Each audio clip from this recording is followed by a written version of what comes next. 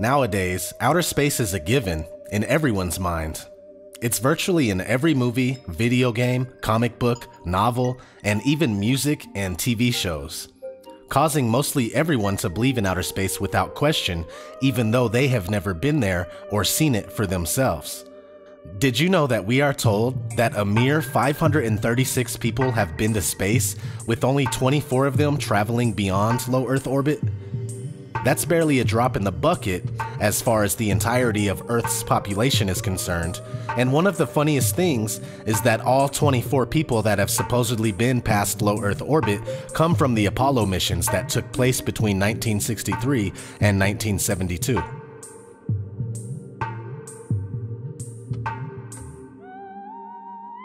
We haven't been able to go that far since. Here's a glimpse of what NASA astronauts of today are saying. Right now, we only can fly in Earth orbit. That's the farthest that we can go. The kinds of technologies that we're testing out on Space Station are definitely helping us with our goals of going beyond low Earth orbit. Early in the next decade, a set of crewed flights will test and prove the systems required for exploration beyond low Earth orbit. And this is really the beginning, I think, of human beings leaving low Earth orbit. And here's Apollo 12 astronaut Alan Bean being interviewed about the Van Allen radiation belts. Any ill effects from the Van Allen radiation belts? No, now I'm not sure we went far enough out to, to encounter the Van Allen radiation belt. Maybe we did.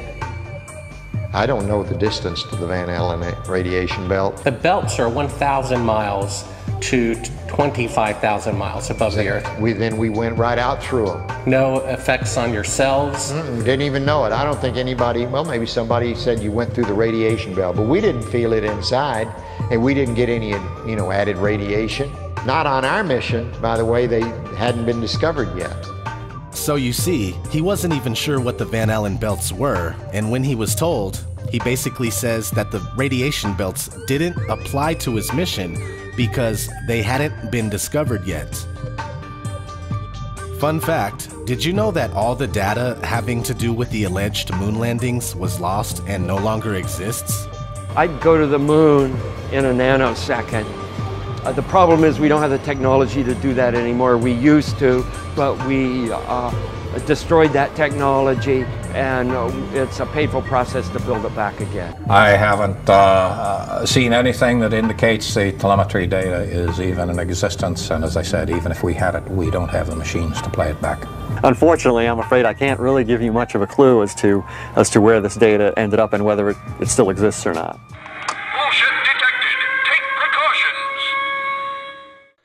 How anyone can trust NASA is beyond me. Now let's talk about how we got here, to the point where space is an unquestionable fact. Let's start with how the geocentric flat earth model dominated from the beginning of recorded history all the way up into the 1600s, and though it's mostly propaganda, even the flat earth Wikipedia contains a bit of truth. Many ancient cultures subscribed to a flat earth cosmography, including China until the 17th century. Now let's look at an article I found that supports this. The ancient Chinese accepted the Earth being a flat geocentric, and that an umbrella like covering surrounded it, which was similar to the beliefs of the Greek, East Indian, Egyptians, Norse, and Germanic, as well as the Aboriginal people of the Americas. The Chinese astronomers believed that heaven takes its body from the yang, so it is round and in motion, and that the Earth takes its body from the yin, so it is flat and quiescent.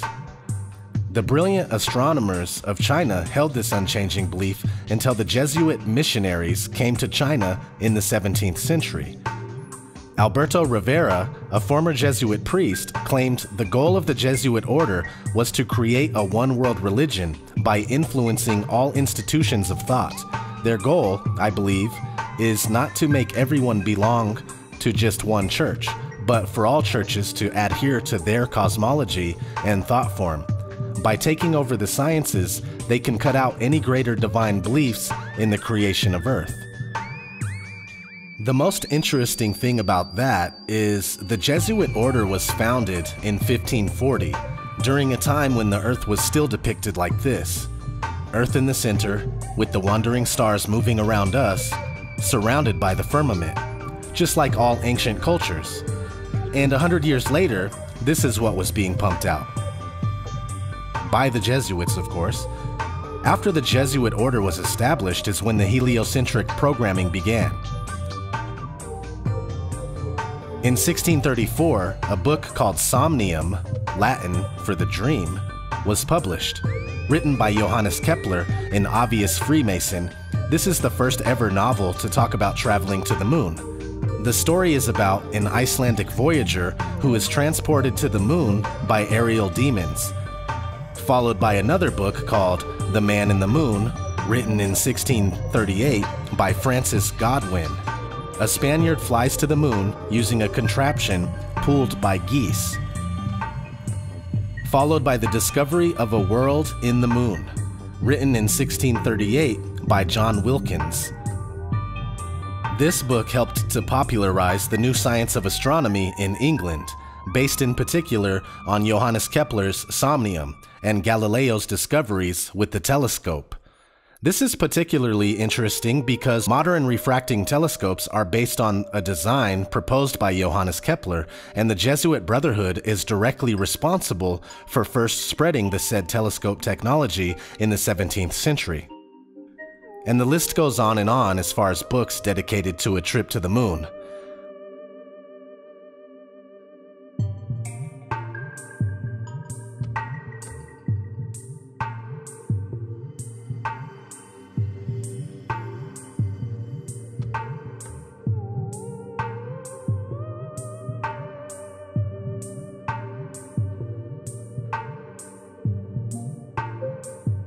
Well into the 1900s, where in 1902, one of the first movies ever made in the world was called A Trip to the Moon. From there, the programming got increasingly faster with each decade until it became yearly and even weekly and then daily. Science fiction comics exploded in the 1930s,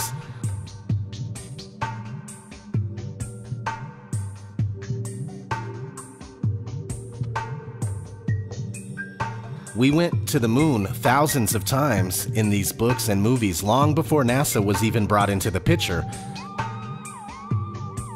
Walt Disney made a space propaganda film in 1955, just three years before the founding of NASA.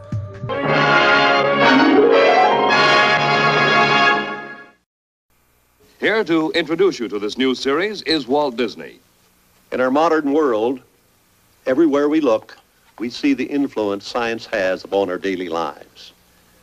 Discoveries that were miracles a few short years ago are accepted as commonplace today. Many of the things that seem impossible now will become realities tomorrow. One of man's oldest dreams has been the desire for space travel, to travel to other worlds. Until recently, this seemed to be an impossibility. But great new discoveries have brought us to the threshold of a new frontier the frontier of interplanetary space. The same year NASA was founded, in 1958, the Jet Propulsion Lab, or JPL, Jack Parsons Lab, was transferred to NASA by the U.S. Army. The Jet Propulsion Laboratory was founded by Jack Parsons. Jack Parsons was a member of the OTO, the Ordo Templi Orientis, and he was heavily influenced by Aleister Crowley. He was also deeply connected to Ron L. Hubbard, the founder of the Church of Scientology. And it all goes so much deeper, the rabbit hole never seems to end. So finally, they fake going to the moon for the first time in 1969, and they do it five more times by 1972. Now everybody believes that outer space is 100% real and that traversing the stars is a possibility. The movies keep coming.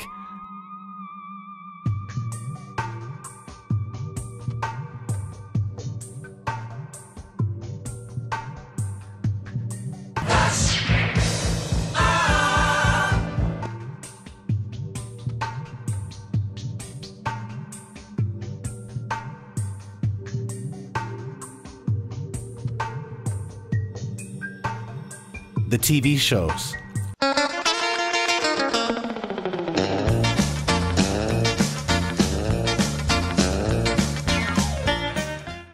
science history, unraveling the mystery that all started with a big bang. The video games.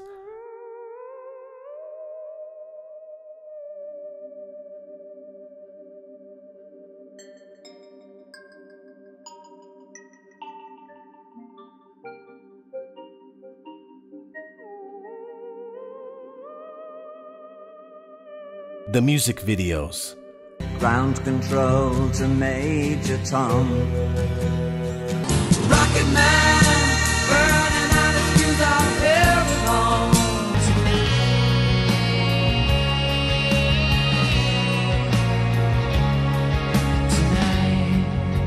Mars Lander, what's happening up there?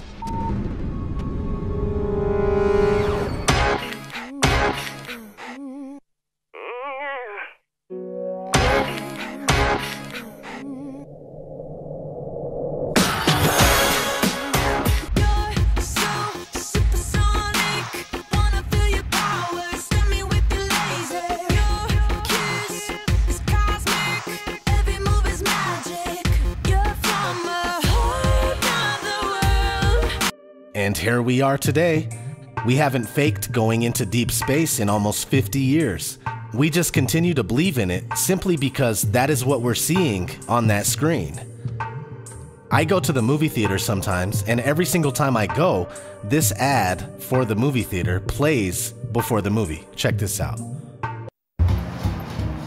Thanks for coming with me tonight. No, I love robots. So, uh, what's your favorite movie? In space. In space. With zombies. Get uh, two cokes and a popcorn. So, uh, what's your favorite movie? In space. In space. With zombies.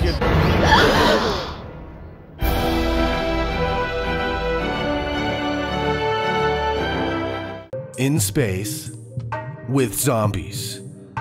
Yeah, you got that right. Outer space is for zombies. Once you see all of this for what it is, and that the joke is on us, it's just absolutely ridiculous what they have us blindly believing. Fun fact the term outer space wasn't recorded until 1875. This has been ODD. Much love, everybody. Stay flat, stay flat, stay flat, stay flat, stay flat, stay flat. Wake up, you need the money. Used to play pretend, used to play pretend bunny. We used to play pretend, wake up, you need the money. Used to play pretend, give each other different names. We would build a rocket ship and then we'd fly far away. Used to dream of outer space, but now they're laughing at the face, saying, Wake up, you need to make money.